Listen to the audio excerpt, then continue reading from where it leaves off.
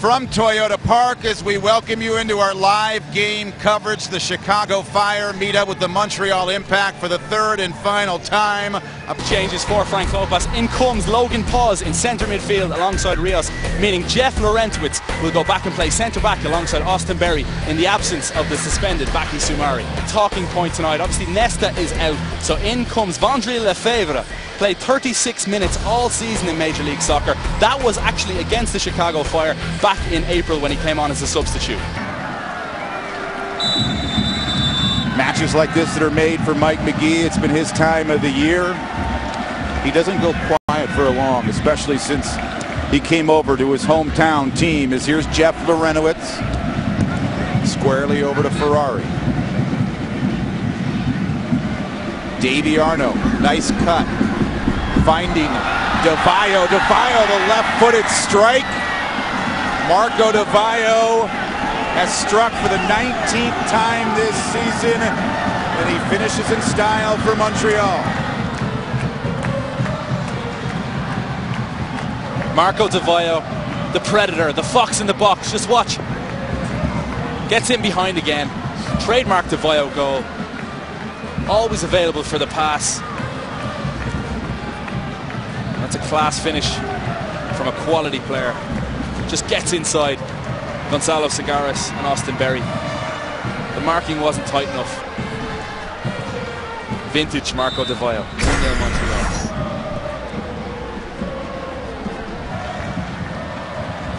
Everybody fancying a smack tonight with the fire down 1-0. Magee saunters up to it, right foot!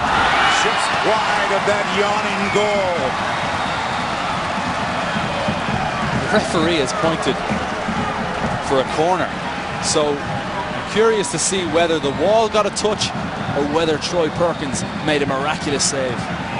What about that for an effort from Mike Magee? Perkins didn't get a touch. Larentowicz near post. Now Perkins gets his paws on it for the fire. Montreal still looking for their first. Here's Magee, right foots it in. Rising up is Rios. Stopped by Perkins. The smallest man on the pitch with a belting header.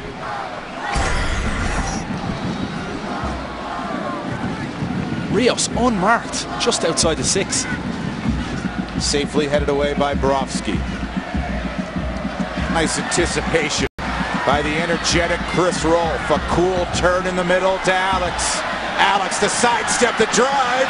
Mike Magee,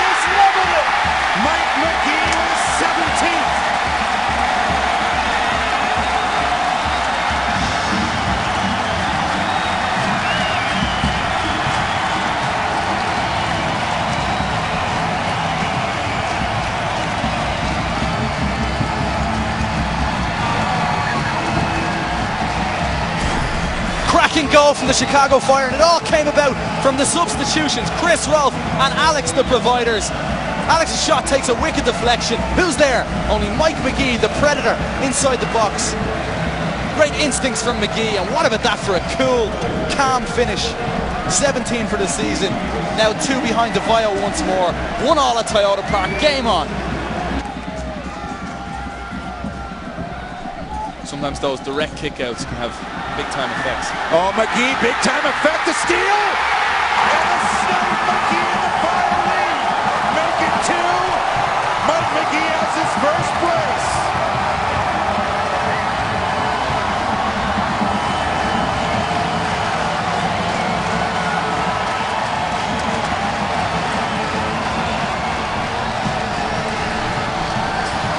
Mike Magee says, Marco Di Vaio, you get one, I'll go get two. 18th of the season for Mike Magee. Just hounds down Troy Perkins in the goal. A little tug on the jersey. The referee didn't see it. Play away. Mike Magee tucks it home with these. Great pressure, great intensity, and a quality finish to boot.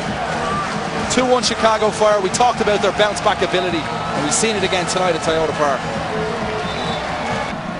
Guy battling for the golden boot Mike Magee, two goals already. This is Nyarko. Patrick Nyarko. Brovsky's been a handle to deal with back there for Montreal, five in blue. It's Magee finding Nyarko again. Patrick the cut. Perkins off his line, empty goal and Anangonó. It takes a deflection, but the Fire are going to get a chance from the spot. Already with a one-goal lead. And now the plot thickens in the 78th minute as the Fire try to stretch this lead. And a glorious chance for a Mike Magee hat trick here at Toyota Park. Patrick Nyarko, look at this for little nutmeg.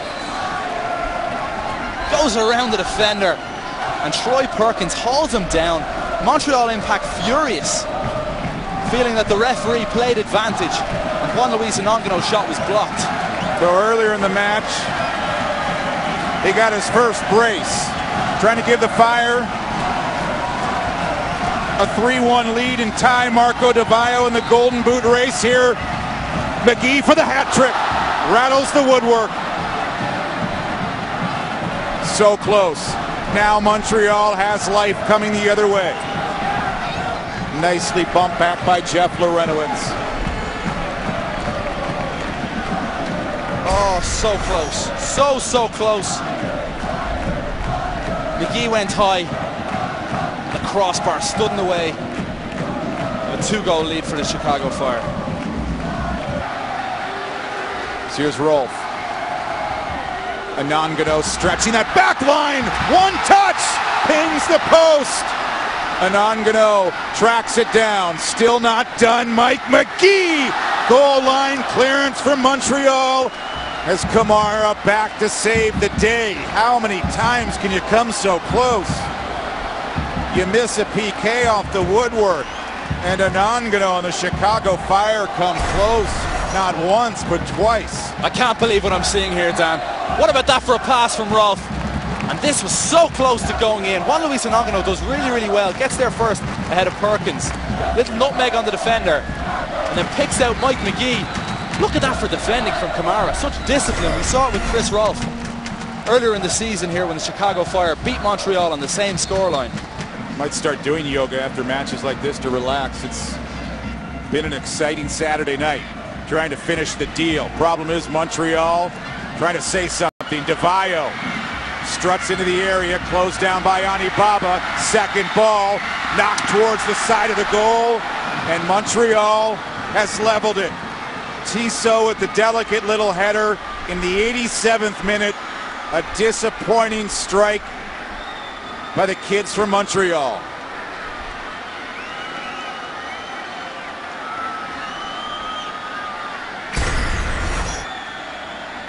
Look at the run from Marco Di Vaio again, hugging the shoulder of Austin Berry. A failed clearance from Larentowicz. Cannons off Anibaba, falls for Tissot, who just guides the ball home with his head. Very good finish, it has to be said. Just guides the ball home. But given the chances Chicago Fire had, you said it. The final whistle sounds. A disappointing look for Mike Magee and the Chicago Fire. It ends in a draw.